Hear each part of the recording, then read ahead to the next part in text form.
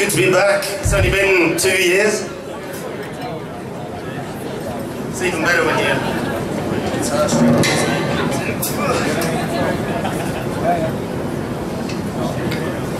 So welcome to the Brudenell. Oh yeah.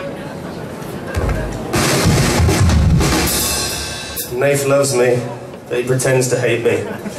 He really hated me today. He loves you, baby. Hmm?